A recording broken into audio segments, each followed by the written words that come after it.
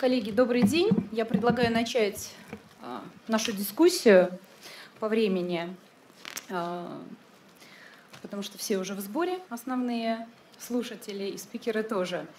А, мы рады снова вас видеть на нашем ежегодном форуме, который вот уже в третий раз проходит в Сочи. И э, традиционно приветствует нас э, своей хорошей погодой и э, гостеприимством, что, наверное, создает вот ту незабываемую атмосферу и помогает нам в, наших, э, в нашей работе, в нашем э, интересном обсуждении.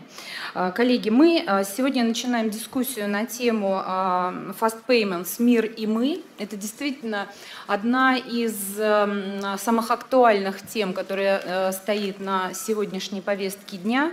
Позвольте мне в первую очередь представить наших уважаемых спикеров, которые примут сегодня в обсуждении этой темы. А, Ян Гаузден, а, управляющий директор по развитию бизнеса компании «Вокалинк». Владимир Комлев, генеральный директор АО НСПК, оператор платежной системы «Мир». Екатерина Петелина, генеральный директор виза в России. Роман Зильбер, член правления Рафайзенбанк Россия, руководитель департамента по работе с физическими лицами и малым бизнесом. Екатерина Волынец, компания Samsung Electronics э, в России, руководитель направления мобильные платежные сервисы. А, Элли Ласкер, руководитель по внедрению быстрых платежей Общества всемирных межбанковских финансовых каналов связи SWIFT. И я, модератор а, этой секции, Бакинала, директор департамента национальной платежной системы Банка России. Итак, в мире уже давно а, мы видим эту тенденцию. Во многих странах системы быстрых платежей а, успешно работают, где-то они а, на стадии внедрения и вот-вот ожидаются к запуску. Безусловно, широкое распространение мобильных устройств, сервисов, которые предоставляют потребителю э, необходимые, э, необходимую возможность быстро и удобно совершать платежи, э, стали ключевыми предпосылками востребованности этого сервиса и у нас в России. А, несколько цифр, которые, в общем-то, тоже э, это подтверждают, что у нас неуклонно растут безналичные переводы. Только за 4 года, с 16 по 18, вот по первую половину 18 года, а, эта цифра выросла более чем в два раза, с 25% до 54%. Э, 97 из 100 платежей а, совершались в 2017 году физическими лицами дистанционно. При этом каждый пятый такой платеж через интернет или устройство мобильной связи. А, создание системы быстрых платежей в России – это, наверное, один из ключевых проектов развития а, национальной инфраструктуры. Сегодня ряд игроков а, и эта тема тоже сегодня утром затрагивалась, уже предоставляют в том или ином формате эти сервисы внутри э, своих банков или банковских групп, но э, крайне важно, да, чтобы у э, потребителей, у физических лиц, у наших граждан была возможность совершать межбанковский перевод быстро, удобно, безопасно и, главное, недорого. А, система быстрых платежей позволяет это сделать, и как раз сейчас над запуском этой системы мы совместно работаем, Банк России, Национальная система платежных карт, Ассоциация по развитию финансовых технологий и банками, участниками этой системы. А, кроме того, реализация этого проекта, конечно, будет способствовать э, повышению финансовой доступности услуг при обеспечении безопасности, что является крайне важным э, в современных условиях, и э, в целом снизить издержки всех участников системы. У нас на сегодняшний день технологическая платформа разработана, и НСПК и Банк России недавно завершили успешное тестирование этого взаимодействия. И так как мы и планировали с ноября, а, на пилотной группе банков мы начинаем уже тестирование с кредитными организациями. О том, какие возможности у нас дает система рынку, его участникам, а, о чем следует а, помнить, какие опасности могут возникать, как следует учитывать международный опыт, который явно совершенно разный в зависимости от страны к стране, и как конкурировать при этом, мы сегодня в рамках наших дискуссий поговорим.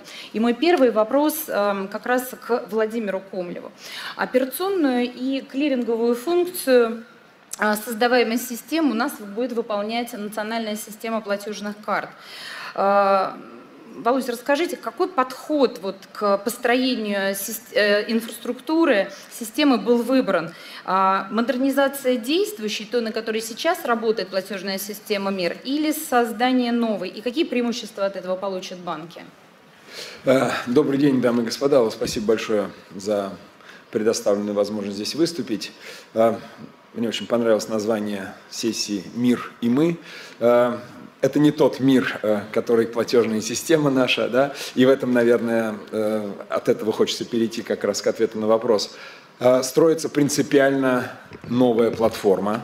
Она, более того, перед нами даже стояла задача и стоит до сих пор сделать так, чтобы эта платформа была отделяема от, от НСПК, и чтобы она при тех или иных условиях могла бы существовать независимо вообще. А, но, тем не менее, на сегодняшней стадии, конечно, мы э, что сделали? Мы э, используем в большой степени те технологические знания и наработки, которые мы получили, э, работая с карточными транзакциями. Что я имею в виду? Что технологии и современные, самые современные способы онлайновой обработки сообщений – мы все, чему научились, все самое лучшее мы используем в этой новой платформе. Но платформа принципиально новая, она принципиально другая, требует других форматов, других подходов, других, вот другого всего, других принципов обработки этих операций. А, что здесь важно, вот то, что мы говорим об отделяемости этой платформы, тоже, наверное, важный момент, э, что оператором этой системы, это действительно национальная платформа, это сервис уровня национальной платежной системы, и оператором естественным образом является Банк России, это важно. Мы являемся действительно здесь техническим провайдером, который должен в режиме 24 на 7 с высочайшей доступностью системы и отказоустойчивостью эти платежи обрабатывать как процессор и э, давать соответствующую отчетность и обеспечивать взаимодействие между всеми участниками и игроками э, этой инфраструктуры, этой экосистемы.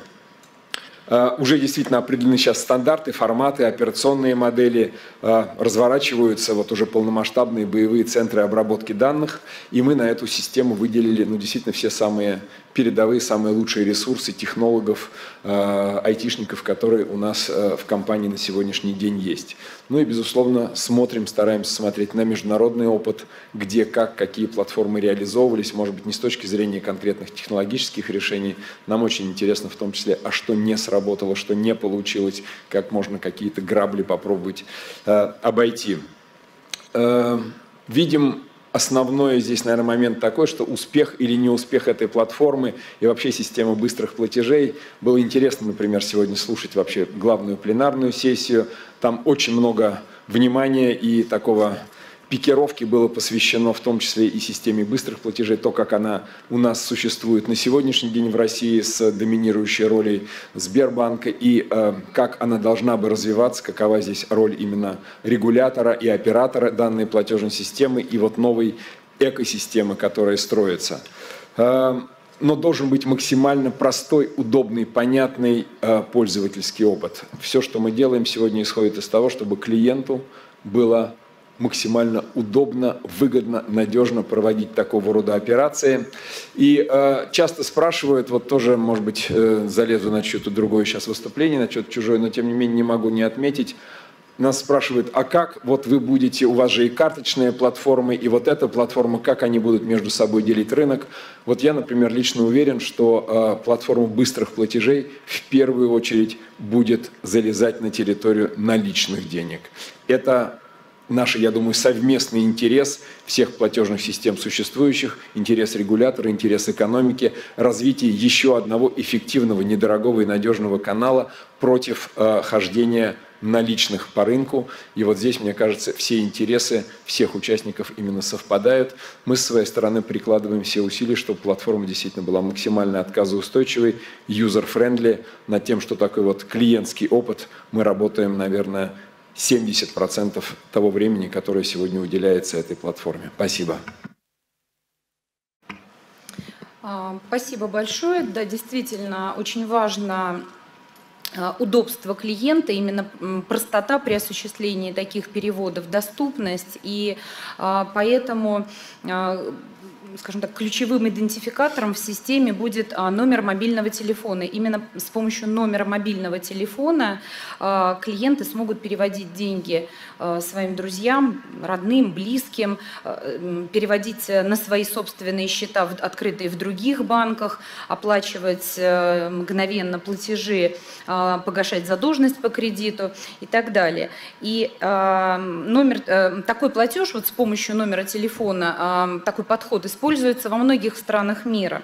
Поэтому здесь, наверное, на самом деле очень важно понять, а, как это, э, как такие системы, скажем так, взаимодействуют с другими провайдерами платежных услуг. У нас сегодня э, вопрос вот у меня в этой связи к Екатерине Волынец. Катя, вот какие ожидания у компании Samsung от появления на нашем рынке при осуществлении P2P переводов вот, по номеру телефона у вашей компании? Что вы видите для себя вот с точки зрения развития бизнеса? Добрый день. Э, прежде всего, разрешите поблагодарить за возможность участия на этом важном для индустрии форуме. Я рада приветствовать э, и коллег, и знакомых, э, и наших партнеров. 29 сентября компания Samsung отметила два года сервиса Samsung Pay в России – Сегодня число транзакций, совершенных э, через мобильный платежный сервис, превысило в мире 1,3 миллиарда. И мы очень рады видеть, что именно российский Samsung Pay является лидером по количеству операций на один токен и э, по доле активных пользователей. Мобильный платежный сервис э, меняет модель поведения пользователя в нескольких направлениях. И это прежде всего связано в структуре э, и методах используемых платежей. Компания Samsung проводила исследования, э, и по результатам этих исследований стало очевидно. Те, кто использует мобильный платежный сервис, э, простите, пожалуйста, те, кто не использует мобильный платежный сервис, платят банковской картой в 47 Э, процентах случаях из 100 и используют наличные денежные средства для оплаты покупок в 30% случаях из 100. Те же, кто хотя бы один раз воспользовался э, для платежа картой э, в приложении Samsung Pay, начинают использовать сервис при каждом удобном случае, используют банковскую карту только в том случае, если сервис недоступен для оплаты, и оставляют на оплату наличными э, не более 13% случаев из 100. Кроме того, э, Исследования показали, что наличие платежной технологии на смартфоне является очень важным для пользователя.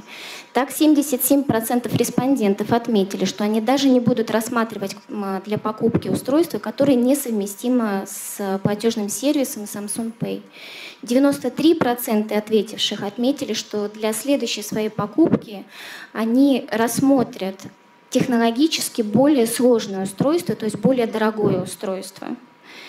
Свыше 80% респондентов, которые являются пользователями Samsung Pay, э, подтвердили высокий уровень доверия к надежности решения и уверенности в том, что даже если устройство будет украдено, с его данными ничего не случится, они останутся в безопасности. При этом, чем активнее пользователь э, в Samsung Pay, тем уровень такого доверия выше. Сегодня сервис доступен для широкого диапазона моделей устройств, включая и устройства из среднего ценового сегмента, низкого, флагманы. Был выявлен интересный нюанс – Анализы поведения пользователей сервиса по данным партнерам показывают, что даже если э, пользователь является владельцем флагманского решения, его поведение далеко не всегда отличается премиальностью. Несмотря на то, что зачастую они являются держателями премиального банковского продукта. Среди них очень популярны, как оказалось, покупки в таких э, супермаркетах как, э, и гипермаркетах, как Ашан, Перекресток, Пятерочка, Лента, э, угощения в ресторанах быстрого питания – которые традиционно не относятся к категории премиальных покупок. С чем это связано, еще предстоит более детально проработать, но уже сегодня можно сказать, что мобильный платежный сервис помогает партнерам э, лучше понимать своих клиентов.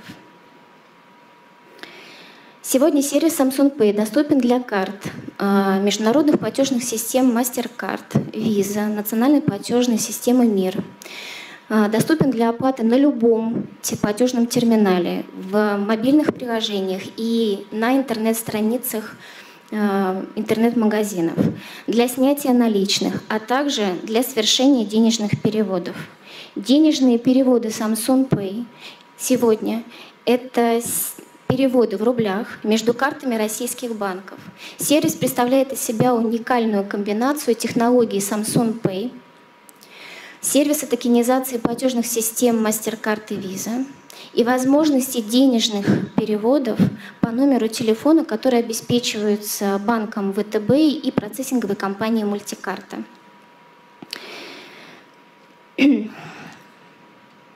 Денежные переводы Samsung Pay – это очень важный технологический шаг в развитии безналичной индустрии и денежных переводов в частности. Сервис помогает э, совершить перевод буквально в несколько кликов, без сложной верификации для отправителя, достаточно биометрические верификации, без необходимости вводить, передавать номер карты от получателя. Кроме того, отправитель имеет возможность в онлайн-режиме отслеживать статус денежного перевода и при необходимости отменять его, безусловно, при условии, что получатель его еще не акцептовал. Сам получатель может быть э, пользователем Samsung Pay, может не быть пользователем сервиса, может даже не быть владельцем устройства Samsung.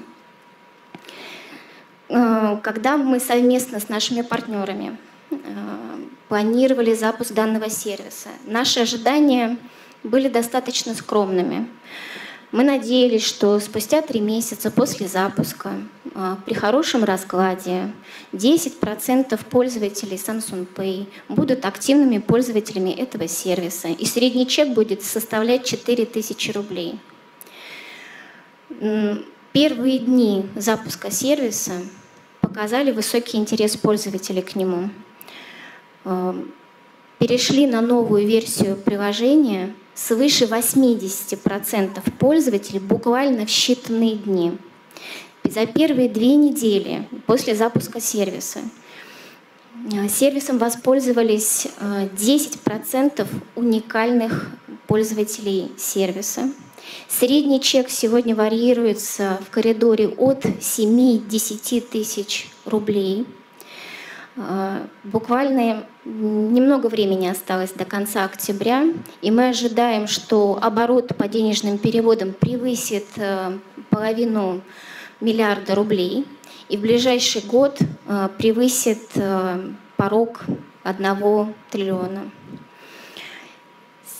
Результаты превзошли все наши ожидания. Сервис реализован таким образом, что его легко развивать на другие регионы. И этим сейчас компания плотно занимается. Задавать тренд э, для развития платежных сервисов и технологий совместно с партнерами стало очень хорошей традицией для Samsung именно в России.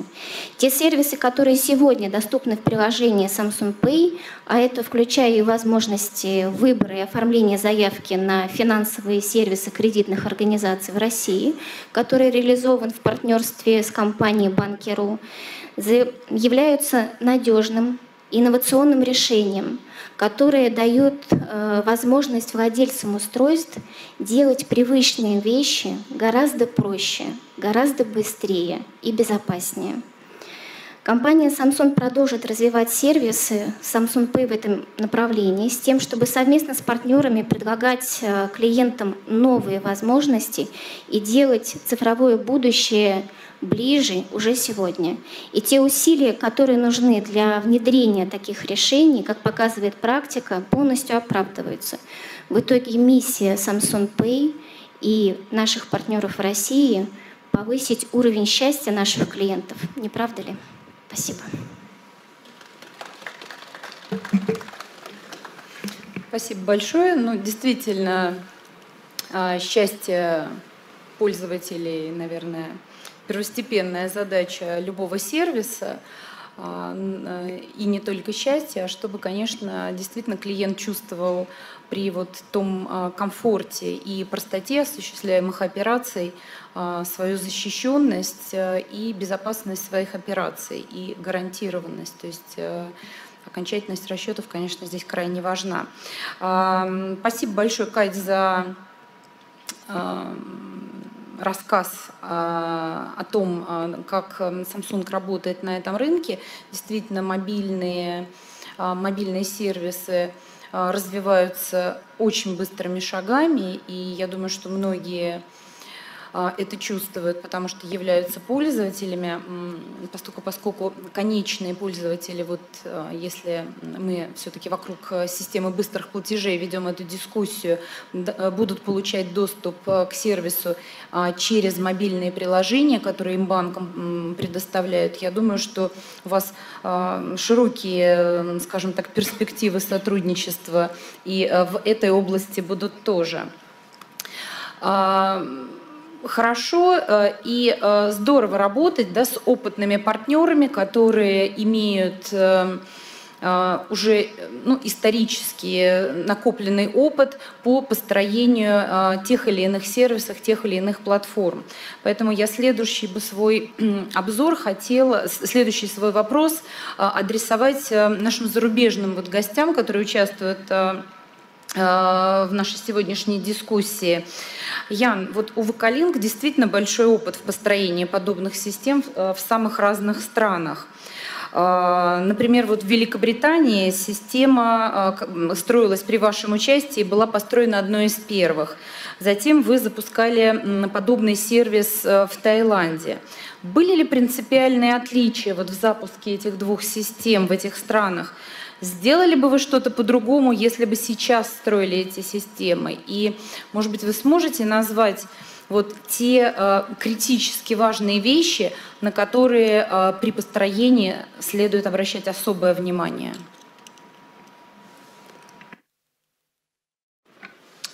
Thank you, Alla. And... Большое спасибо, Алла, большое спасибо всем. Я очень рад, что сегодня имею возможность рассказать о своей платформе. Мне очень также приятен высокий уровень интереса к теме быстрых платежей.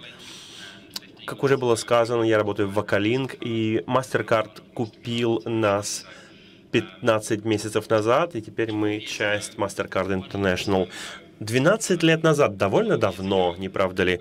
12 лет назад мы только звонили с вот этих железяк. У нас были самые примитивные приложения. И прежде всего смартфон был телефоном. Может быть, там был календарь, еще что-нибудь в этом духе. Но никаких банковских, например, транзакций не было. И когда мы начали работать над этим в Великобритании 12-13 лет назад, в 2006 году, действительно, это был другой мир. И мы поначалу, конечно, функционал был очень ограничен, можно было переместить средства с одного счета на другой. Как это происходило? Вы звонили в банк и просили сделать перевод. Или там был сложный процесс, когда нужно было войти в свой счет, и там уже самому сделать перевод. Однако система для этого функционала была очень успешной, но, как вы понимаете, действительно за эти 10 лет, что она существует, мир очень сильно изменился. При том, что ряд основных задач остался тем же. Владимир уже об этом говорил. Доступность 24 на 7, абсолютное доверие и безопасность системы и, конечно, легкость доступа и удобство в использовании. Должна быть умная система, простая система и безопасная система. Три ключевых слова, которые мы выбрали 12 лет назад, остаются ключевыми и на сегодняшний день. Однако то, как именно мы взаимодействуем с банковскими системами на сегодня, изменилось очень сильно.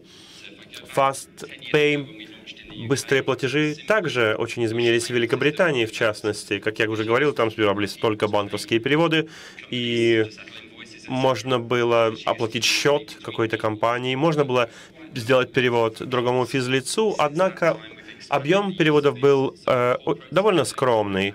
Затем мы расширили функционал, и теперь у корпоратов есть отдельный прямой доступ э, и можно взаимодействовать между корпоративными и частными счетами. И сейчас мы видим, уже появляется Open Banking, приложение на основе финансовых технологий, доступность этой системы для целого ряда игроков, которые не обязательно являются представителями банковского сектора. 12 лет назад э, объемы были скромные, но приличные, безопасность была высокая, однако было очень много ограничений. В Таиланде мы запустились э, около двух лет назад. Основная система та же, однако сейчас можно только не, пере, не только сделать перевод, но и запросить перевод. Да, то есть деньги могут приходить вам. Если, например, э, вы мне должны, то вам э, я могу послать запрос. Сейчас данных намного больше, и это не только короткое сообщение, основанное на карточном стандарте сейчас, а, это новый ISMO 2022 э, стандарт, где качество данных намного выше. В Великобритании на данный момент мы это используем для клиринговых операций по чекам в, э, в тот же день. Сейчас, конечно, транзакции стали глубже, если можно так сказать, благодаря этим данным. Одновременно можно лучше интегрировать это с корпоративными системами перевода, и преимущества такой системы касаются не только P2P аудитории. Это сейчас работает и для бизнесов, и для целого ряда других э, агентов на, на этом рынке. И вся цепочка меняется. Алла уже говорила, что номер мобильного может быть своего рода прокси по отношению к вашему банковскому счету. В Великобритании это 8 лет процесс этот шел для того, чтобы запустить быстрые платежи на основе номера телефона. 12 лет назад мы задумали эту систему, и поначалу мы не думали, что мобильный телефон может быть этим прокси. Никто еще не совершал транзакции на мобильном. Это пришло намного позже если можно доверять, вернее, если вы попросили бы меня сравнить да, эти два опыта, в Таиланде за полгода 40% населения зарегистрировались. В Великобритании уже 10 лет сервис доступен, и до сих пор таких уровней регистрации нет. Поэтому сейчас то, что мы работаем с мобильными операторами, это действительно повысила намного нашу э, доступность. Уроки, которыми я могу поделиться, мы сделали ряд проектов в Великобритании, в Сингапуре, Таиланде, как я уже говорил, в США. И каждый из этих проектов по внедрению подобных систем подтверждал, что важным не забывать всегда о конечных целях. В Великобритании 10 лет назад мы просто хотели, чтобы платежи проходили быстрее нормальная задача, а, но не конечная, понимаете? А в Таиланде видение было намного более четким, потому что они хотели привлечь SM, малые и средние предприятия э, в банковскую сферу, сделать финансовые услуги более инклюзивными и получить доступ как можно большой аудитории как можно быстрее. Поэтому запуск проходило иначе. В Великобритании это была одна из первых систем в мире, поэтому мы очень медленно набирали людей, и, к сожалению, 10 лет прошло, и до сих пор мы не достигли уровня Таиланда, который был достигнут всего за несколько месяцев. Мне кажется, очень важно, чтобы вы услышали банки. И каждый банк, в зависимости от того, в какой, какой они позиции, в каком они моменте, они дадут вам свои ответы. В Таиланде, кстати, на тот момент э, военные были у власти, поэтому это было введено указом. И указ требовал, чтобы у вас есть год для того, чтобы перейти на этот сервис. И поэтому не только быстрые платежи, но и быстрая имплементация там наблюдалась. Э, понятно, что и на тестовой фазе, конечно, все зависит, например, Владимир от вас требует, чтобы вы быстрее внедряли, тестируя уже скорее, да, но, конечно, нельзя жертвовать точностью, нельзя жертвовать безопасностью, а, хотя надо торопиться. Это несколько уроков. Я считаю, обязательно нужно делать это удобным. Страны начинают э, это делать на разных этапах. Начинаете ли вы на уровне P2P, например, или у вас, например, плохо работает биллинг и инвойсинг.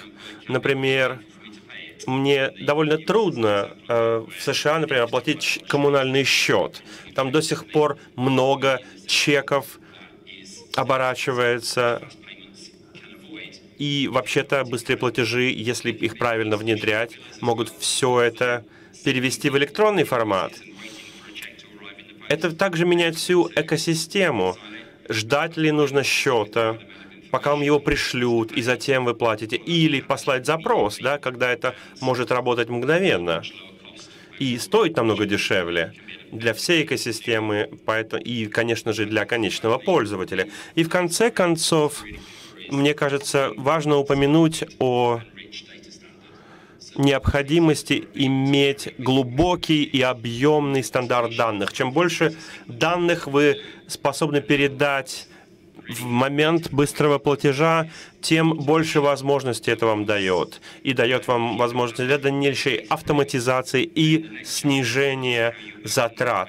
Если вы внедряете сразу мощный канал с самого начала, то это открывает целый ряд возможностей для работы с финтеком и другими игроками, которые можно надстраивать над изначальным каналом, если он безопасный, масштабный и глубокий. И мне кажется, об этом нельзя забывать при внедрении таких решений.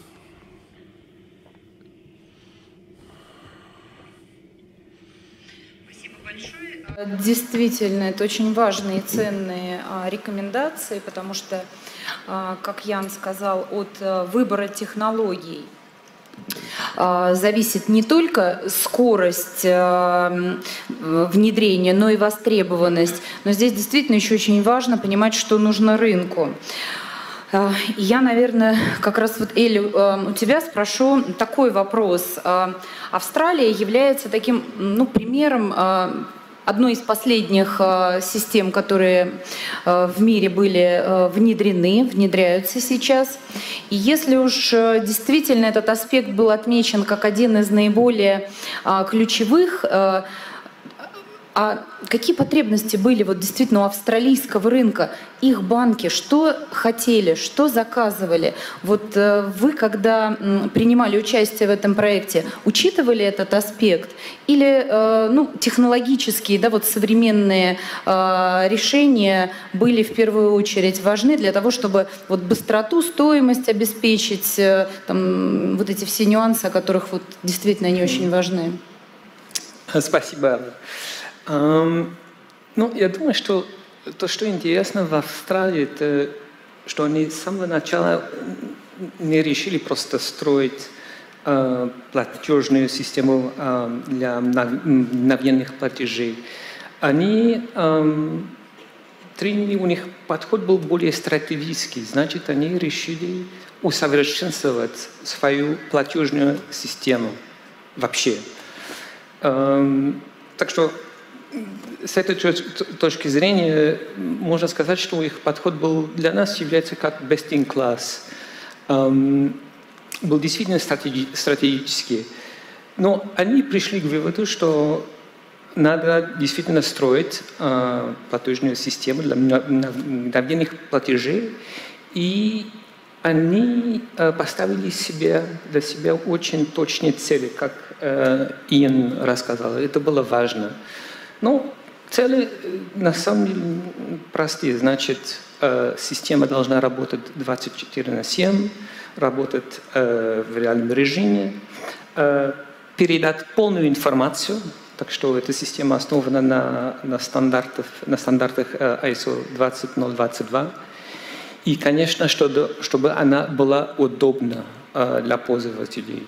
Э, это важно, очень важно, если вы хотите, чтобы ну, запустить систему, что ну, было удобно, и тоже стоимость низкая. Ну, это был первый шаг. Ну, вторая характеристика – это они действительно создали программу, э, чтобы внедрить это, эту, эту, эту систему. Эм, они э, работали э, со всеми заинтересованными лицами. Ну, это были не только Резервный банк, а только ну, все, все банки участвовали. Эм, и э, программу поддерживала э, компания э, консультантов, э, международная компания. Э, и там ну, были созданы разные э, рабочие группы, которые рассматривали действительно все аспекты, не только технологические, тоже, а также э, юридические. Ну и в конце концов они, ну, они выдали RFP, Request for Proposal. Ну, SWIFT выиграл это, это RFP, и мы ну, вместе ну, с ними работали, чтобы внедрять этот, вот, эту систему. Эм, э, эта система немножко отличается от, э, от, друг, от других систем, э, которые мы, ну, например, другие страны э, тоже строят. Но первая характеристика, что австралийцы решили, э, что ну, все платежи должны рассчитываться прямо в Центральном банке. Обычно Э, если вы смотрите на, вот, на такие системы, они осуществляют, осуществляют нетинг, а потом идет расчет через центральный банк. А что касается австралийцев, они хотели снимать риски, ну, как это, э, снижать риски. Снижать, снижать, снижать риски. Эм, и поэтому приняли э, решение эм, но как-то рассчитывать, как каждый платеж, розничный платеж через, через Центробанк. Вторая э, характеристика – это, это система распределенная, это distributed system, как мы как ее называем. Но, в принципе, если, опять, если вы смотрите на, на такие инфраструктуры, там существует центральная инфраструктура, а австралийцы решили, чтобы как, э, не строить такую инфра, э, центральную инфраструктуру и Э, работать, но через распределенную. Но что, что-то им дает? Это дает устойчивость эм, этой системы, так как, ну, если у вас есть, конечно, одна, одна инфраструктура, если она, если она прекращает э, работать, э, ну, вся система останавливается. Э, с этой точки зрения, поэтому вот австралийцы приняли это решение вот строить такую систему. Э, они запустили эту систему э, в начале этого года э, успешно. На сегодняшний день идут где-то 250 тысяч платежей в день. Ну, конечно, это ну, мы находимся в начале, в начальном этапе запущения системы. Спасибо большое. А, да, вот э, есть да, нюансы от стране к стране. Действительно, в каждой стране есть особенности. А, у меня вопрос э, следующий. Я хотела бы задать э, Екатерине Петелиной. Катя, вот скажите, а, виза, да, глобальная международная платежная система, которая очень давно, с 56 -го, года на рынке, правильно? И 30 лет как в России. Да, и 30 лет как в России. Скажите, вот учитывая ту динамику развития системы э, быстрых платежей, как во всем мире, и вот то, что у нас сейчас происходит, а, какой вот свой опыт, да, и какие перспективы а, реализации данного сервиса вы видите э, вот именно в рамках своей платежной системы? Где мы здесь можем сотрудничать для того, чтобы а, максимальное количество э, возможностей предоставлять нашим конечным пользователям, клиентам? Спасибо, Алла. И мне как раз очень нравится именно этот поворот разговора. Мы говорим с вами о естественной потребности человека или компании переводить средства безналично. И в данном случае Visa, как крупнейшая платежная система в мире, заинтересована в развитии любого вида безналичных транзакций – я здесь соглашусь абсолютно с Владимиром Комлевым о том, что рынок платежей безналичных в России, по крайней мере, растет сейчас очень быстрыми темпами, больше 25% в год. Это огромные темпы роста. И растет он прежде всего за счет замещения наличных транзакций безналичными. Поэтому все здесь сидящие участники, и НСПК, и Райфайзенбанк, и э, Visa, и и Samsung Pay, и Центральный банк. Мы заинтересованы не столько в том, какой кусок пирога, на какой технологии кто откусит, а мы заинтересованы в том, чтобы растить сам пирог. Вот ведь что происходит. Мы заинтересованы прежде всего в том, чтобы и потребители, и банки, и Центральный банк получали безопасный, надежный, удобный, доступный, низкозатратный сервис. И э, что касается технологий, о которых Алла спросила, технологий карточных систем, Технология VisaNet — это наш основной актив, наша процессинговая система, 65 тысяч транзакций в секунду способны обрабатывать. И на этой технологии тоже есть технология Push Payments, Push Payments, о которых говорил в том числе Иэн, который позволяет вот эти платежи в режиме онлайн осуществлять и в формате P2P, человек человеку, и в формате P2M, человек мерчанту, и в формате M2P, так называемый Merchant Disbursements. Эта технология у нас есть, мы ее активно развиваем. При этом все-таки тема у нас «Мир и мы», и я начну, начну, наверное, с нас.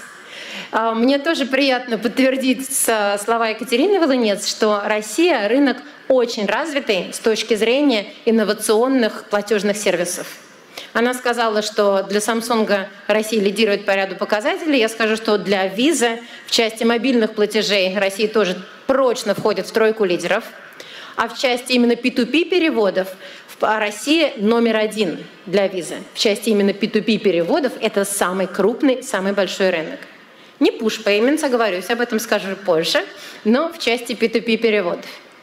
И э, почему этот сервис так хорошо развивается? Мы запустили его, кстати, в 2008 году, то есть довольно давно. И э, сервис последние три года развивается по 80% в год.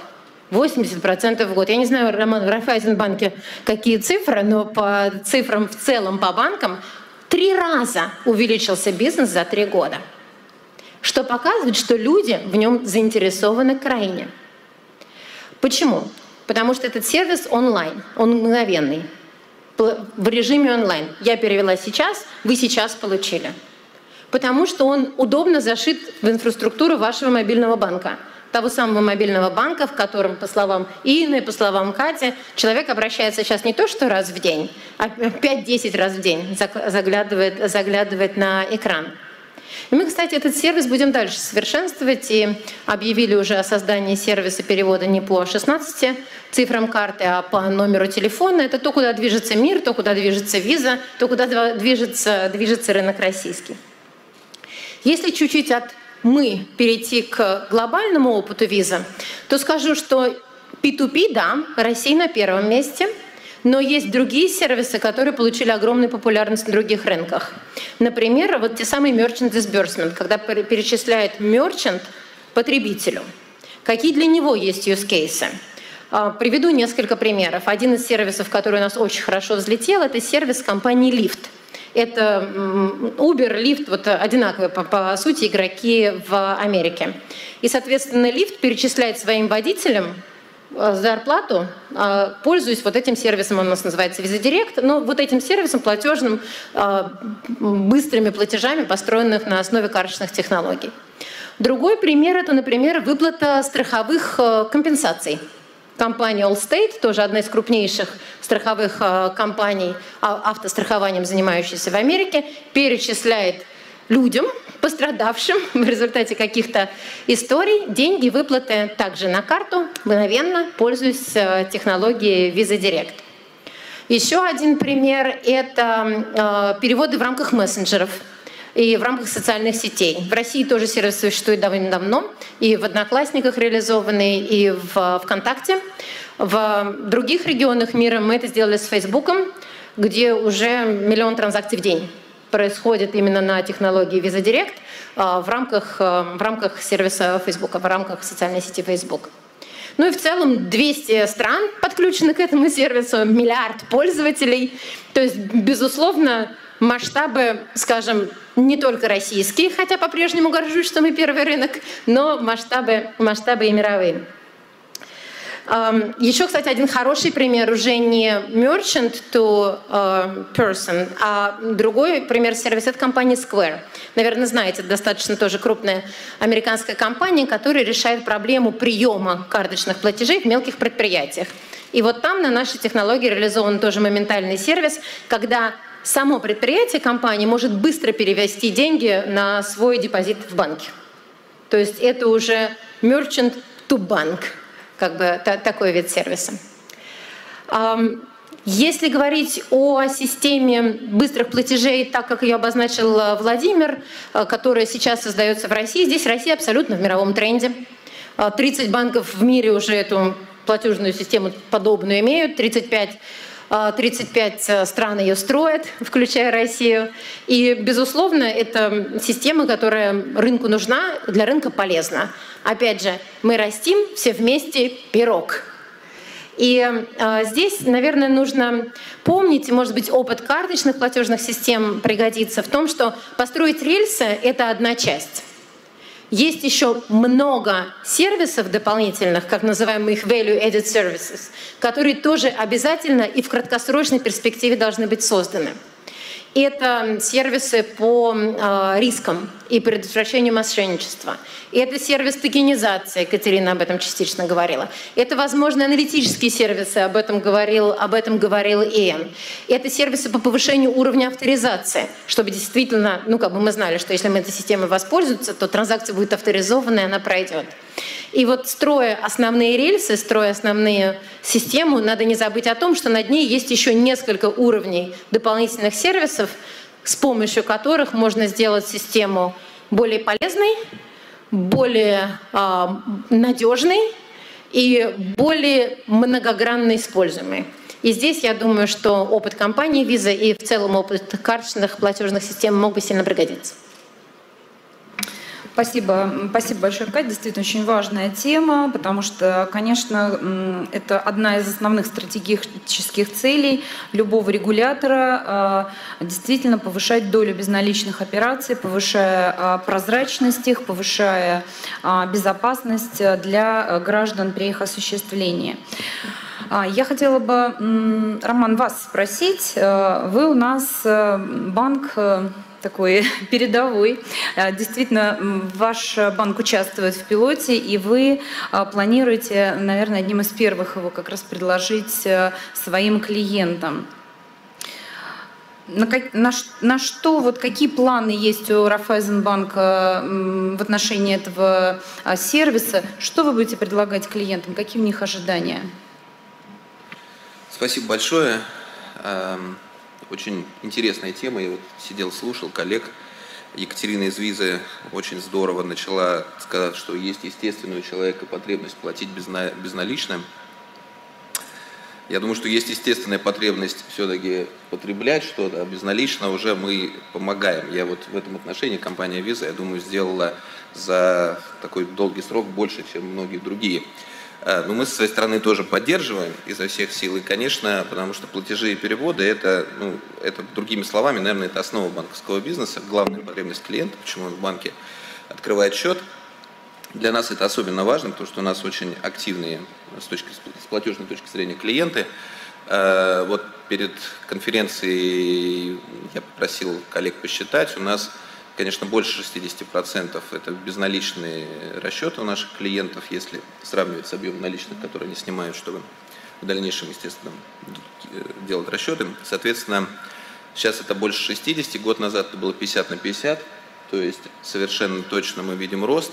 И как вот отмечали коллеги, конечно, этот рост очень сильно э, как правильно сказать, подталкивается, стимулируется, вот как говорила Екатерина из Samsung, стимулируется развитием и использованием именно мобильных устройств. И, и, и вот мне понравилось тоже Интро, то, что говорил, что в Таиланде, когда начинали э, выходить на рынок, был, люди были все с мобильными телефонами, уже привыкли ими пользоваться, совершенно другая динамика.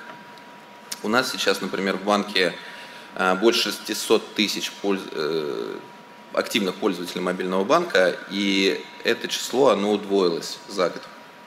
И проникновение у нас сейчас порядка 35% в активную базу банка. Это там один из очень сильных результатов.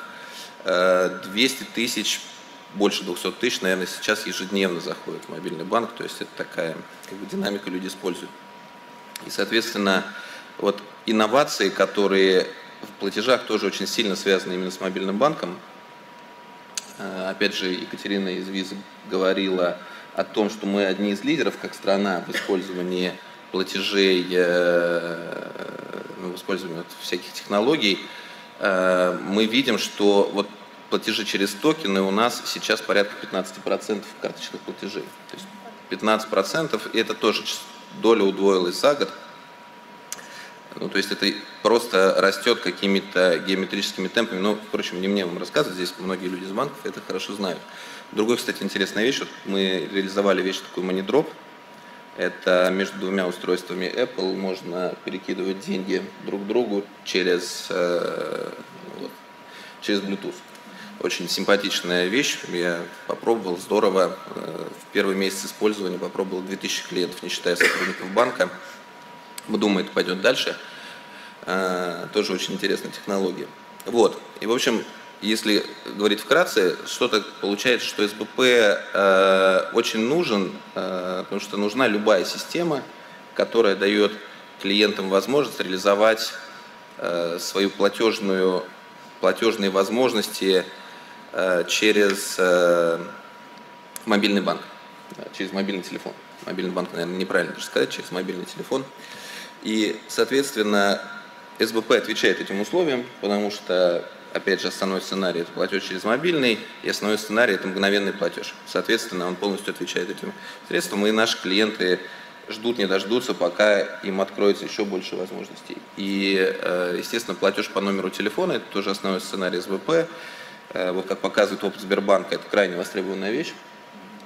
Мы думаем, что здесь очень правильно, что будет национальная система, которая, опять же, как обсуждали мы на утренней сессии, даст равный доступ э, всем банкам.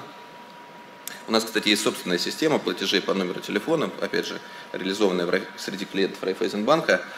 Э, естественно, она не так масштабна, как Сбербанковская, мы видим, какой тоже очень быстрый рост в этой системе. Там Сейчас мы регистрируем 200 тысяч транзакций в месяц, и они растут со скоростью 40%, 40-50% в квартал.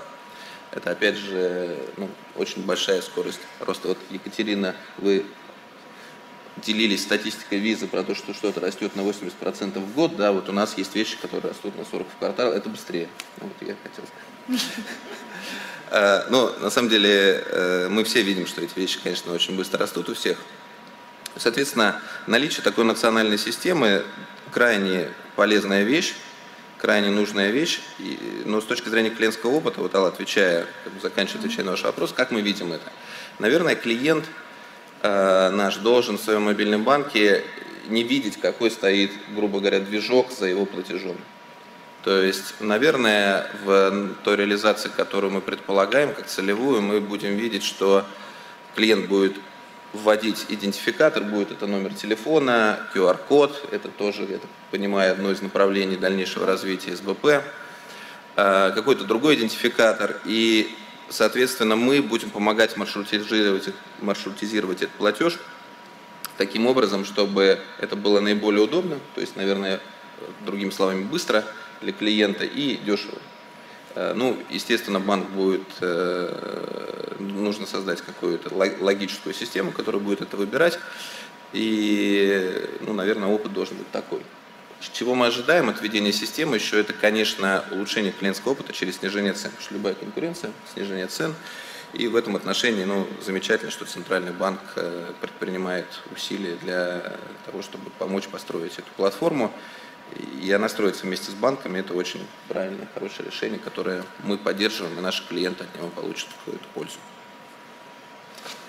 Спасибо большое. Я очень рада, что у нас на самом деле остается 15 минут а, до конца нашей сессии. И а, я, а, наверное, хочу предоставить возможность задать всем нашим участникам несколько вопросов из зала. До конца секции остается время. Просто несколько выводов, вот, которые я себе зафиксировала по результатам того, о чем мы сегодня говорили. А, действительно, востребованность клиентов э, в переводах, в удобных, в быстрых есть. Это свидетельствуют вот все цифры, которые мы называли, используя совершенно разные сервисы, которые предоставляют э, все действующие а, игроки на нашем рынке. А, важно, а, чтобы сервис был безопасным, быстрым, надежным, удобным для клиентов. А, важно, чтобы э, клиент имел возможность сделать межбанковский перевод, и комиссия при этом должна быть минимальная все это создаст предпосылки для э, роста финансовой доступности, росту конкуренции, о чем все мы да, говорим, чтобы э, как раз и способствовать снижению этих комиссий. Потому что чем больше игроков участвует, чем больше банков у нас будет в нашей системе, тем больше возможностей мы будем предоставлять нашим клиентам. Ну и вопросы безопасности, бесперебойности, да, надежности, они, естественно, должны быть у каждой системы. А, это, ну, собственно, те опции, которые есть. И еще один, да, ключевая характеристика системы – это те дополнительные сервисы а, и те прочие возможности, которые клиенты будут э, получать. Но вот ровно над этим мы работаем вместе с банками, вместе с рынком. Мы изначально ставили да, э, такую задачу, что когда определяли, какие идентификаторы будут использоваться, какая этапность, какие сервисы именно будут востребованы. Все это мы обсуждаем с банками. И если на первом этапе у нас номер действительно мобильного телефона является таким идентификатором, в последующем мы планируем туда а, добавлять и имейлы, и мессенджеры, и QR-коды, и а, все другие идентификаторы, которые у нас есть и будут появляться. То есть этот список открыт фактически. На первом этапе, конечно, это будут переводы а, между физическими лицами, себе и другим физическим лицам, а в последующем это и а, в пользу а, юридических лиц, как раз вот тот самый инвойсинг, о котором мы говорили, и оплата за различные товары услуги, которые граждане получают. Ну, вот, наверное, вот такие основные выводы, поэтому, конечно, мне, я как регулятор заинтересована вместе с рынком, чтобы как можно больше участников у нас было. Коллеги, э, пожалуйста, если есть какие-то вопросы к любому из наших э, сидящих здесь, э, задавайте. Я тогда попрошу давать микрофоны. Представляйтесь, пожалуйста, и задавайте вопрос. Мы будем стараться на них ответить.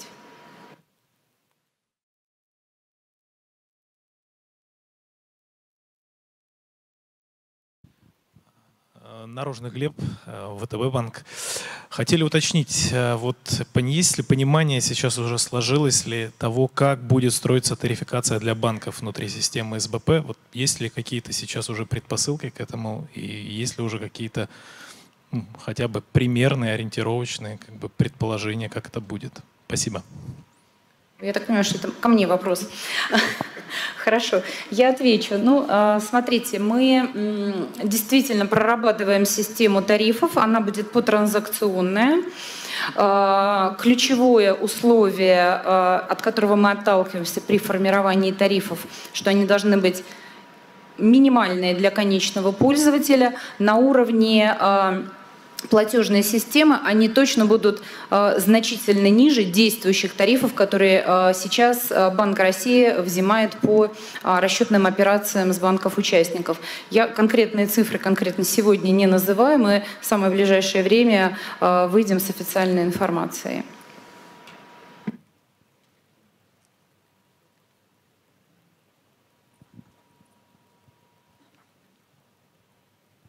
Кирилл Пальчун, Юнистрим.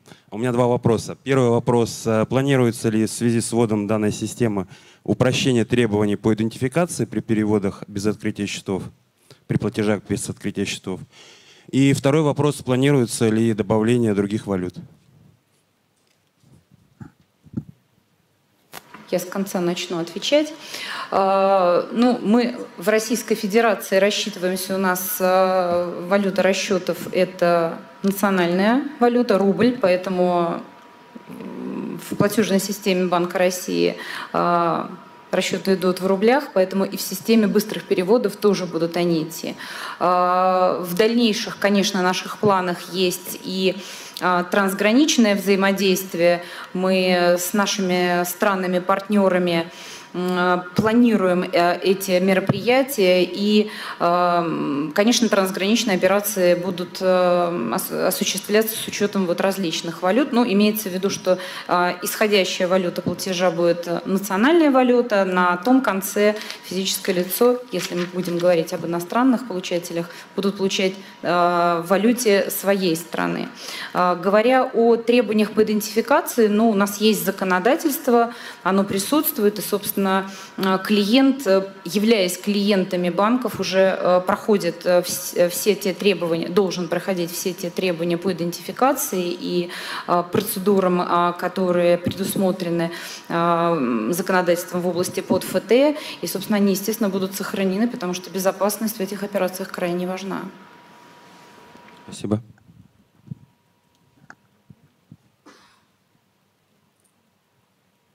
На первом ряду, если можно. Дайте микрофон.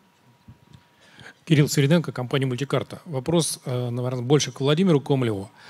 Э, я знаю, что вторым этапом развития систем быстрых платежей будет вывод систему, системы в отношении между клиентом и торговцем. То есть фактически такой своеобразный э, инвойсинг, эквайринг. Да? Можно хоть немножечко рассказать о том, как это планируется, когда это планируется? Ну и вообще какие такие... Потому что Пока все это покрыто тайной, мраком. Здесь, наверное, не надо говорить о тайне или мраке, да, здесь э, очень большая пока э, реальная неопределенность с тем, какой э, самый правильный сценарий. На самом деле, скорее, какие здесь будут сценарии, потому что сегодня то, о чем мы э, беседуем, мы беседуем уже с банками, с пилотными даже, это целый ряд возможных разных сценариев в зависимости от способы совершения операции, сегменты, да, мы понимаем, что если быстрые переводы пройдут из там, мелких и средних предприятий, скажем, того же там, открытых там, продуктовых каких-то рынков, э, уйдут в более такую организованную и цивилизованную и крупную розницу. Это два разных, как минимум, сценария того, как такие операции могут совершаться. Э, много очень сейчас вопросов, над ними как раз работаем. Э, сказать, что есть конкретные какие-то решения, я вот сейчас просто, Кирилл, не могу. Действительно идет интенсивная ежедневная работа, в основе которой лежит именно правильный клиентский опыт. Потому что мы понимаем, что совершить перевод с телефона своему коллеге P2P – это одна история. Как телефон и СБП, система быстрых платежей, может стать в каких-то условиях более удобной, чем та же самая карточка или интегрированный карточный платеж, особенно с того же телефона, с Apple Pay, Samsung Pay, Android Pay, да, вот все те системы, к которым сегодня граждане привыкли, что нужно сделать для того, чтобы в торговой точке клиенту было удобнее заплатить телефоном как идентифицирует себя торговая точка.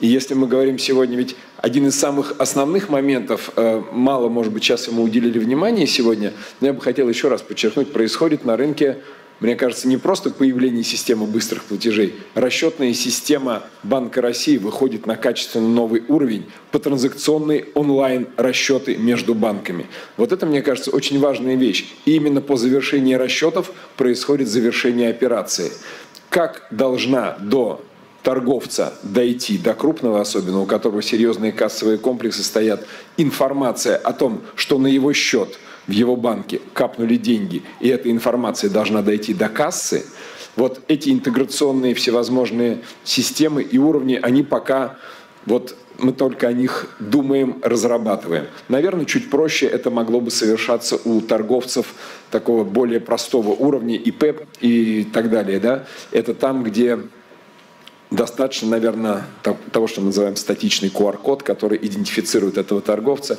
и с помощью сканера на телефоне можно информацию о его э, данных получить сразу. Но вариантов здесь очень много интересных рисуется и в интегрированных решениях готового конкретного какого-то описания мануала у нас нету. Это не потому, что мы это завешиваем от э, внешних зрителей и какая-то есть тайна или мрак. Нет, наверное, это пока покрыты каким-то завесой, какой-то завесой тайны, может быть, где-то для нас самих, но активная работа в этом направлении ведется. Присоединяйтесь. Я, если можно, а, Владимира, немного дополню. На самом деле, действительно, а, мы это и с банками обсуждаем. А, и а, вот коллеги наши, да, рассказывая о международном опыте, как раз об этом сказали.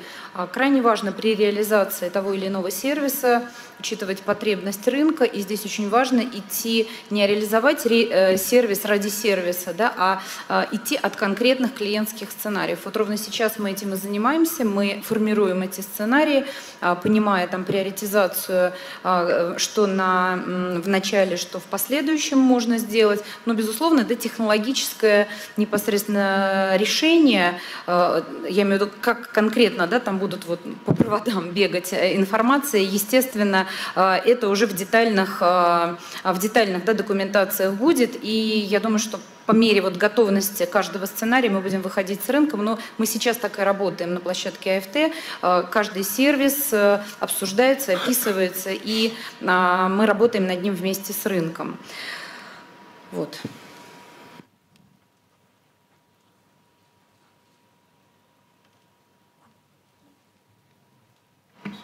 Я вижу руку справа. Здравствуйте, Попов Александр, компания ТК-центр.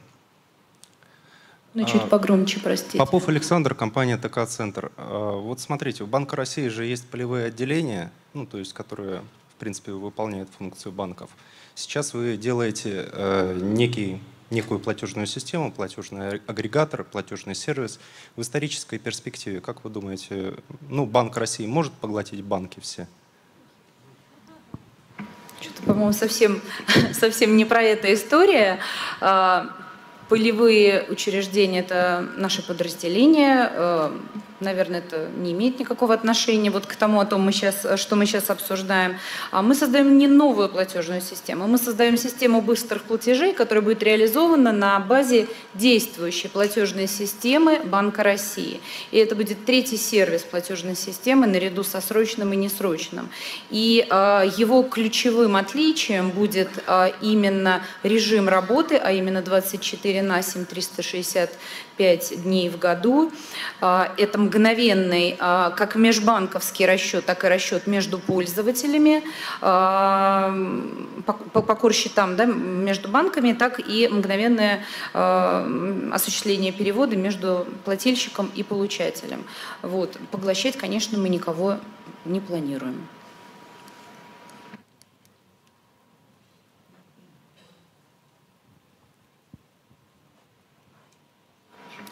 Спасибо большое, коллеги, за вопросы. А, мы приглашаем банки а, присоединяться к нашему проекту, те, кто еще только думает над этой историей.